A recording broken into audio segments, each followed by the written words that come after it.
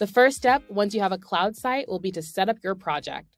Whether you're a software development team, marketing team, legal team, or a project manager, setting up your next project in Jira is easy.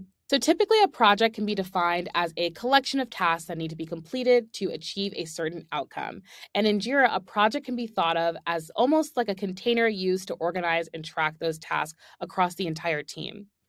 And the great thing about a Jira project is that it's highly configurable and can be easily customized to fit any organizational structure, any workflow, or level of maturity.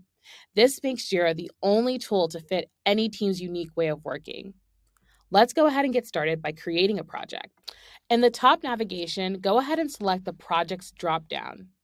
You'll be able to save any projects that you've been working on or see any recent projects. But to get started with the new one, go ahead and select Create Project. You'll notice here that you can choose from several already made templates to get your project started quickly. Just take a look at the different types of teams that can use Jira and have templates ready to go, such as legal, HR, sales, finance, and more.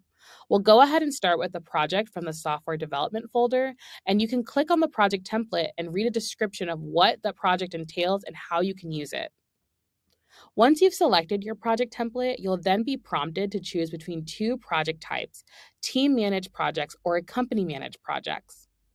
I do want to take some time and pause a little here and go over the difference between these two project types. Team managed projects are for teams that want simplified configuration and want more control over their own working processes and practices.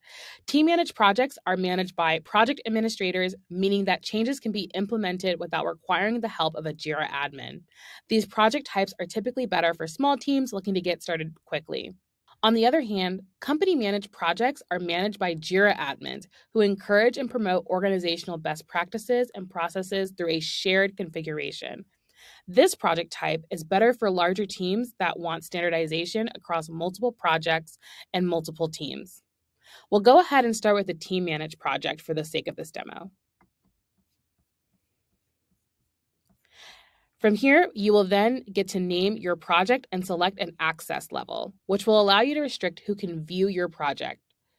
So whether it is by invite only or whether you want your projects open to other teams to view, or you want it open for all teams to be able to view and create issues, you can select your access type. For this project, we'll go ahead and select private and hit next. All right, on this next screen, it'll allow you to connect Jira to any other Atlassian product. We'll show an example of Jira and Confluence later, but for now, let's just go ahead and click continue. And there you have it, your first project.